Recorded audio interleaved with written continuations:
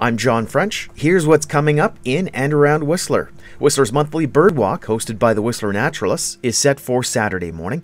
Meet at the foot of Lorimer Road, the Valley Trail, to walk to Rainbow Park. The group meets at 7 a.m. The road biking event of the year is finally here. GranFondo goes Saturday morning also, with the riders busting off the start line in Stanley Park at 6:55 a.m.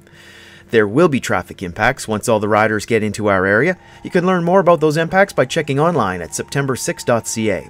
Finishers will be riding up Highway 99 to Village Gate Boulevard and along Blackcomb Way through much of the afternoon. The GranFondo Fun continues the following day with Family Fundo at Whistler Olympic Plaza. That goes from 9 to 10 a.m. for kids 12 and under. Helmets are required. Also on Sunday, there's the Weekend Pursuit Challenge featuring cat and mouse sprint racing on Blackcomb Way in heats of four. The event will kick off with a field of 64 men and women. There's a $500 cash prize on the line for the top finisher. Also, the Pemberton Museum presents the Fall Fair at 11 a.m.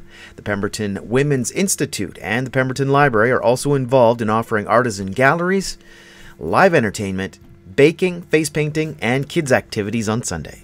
I'm John French with this week's Pique Forward.